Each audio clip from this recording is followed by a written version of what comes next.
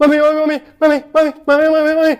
Ty vole, co tady řveš jak pavian, vole, mám ti fláknout? Hoří stromeček, hoří stromeček! Prosím tě, Daví, neříká se, že stromeček hoří, ale že stromeček svítí, jo? Klid, upaluj zpátky. Aha, OK.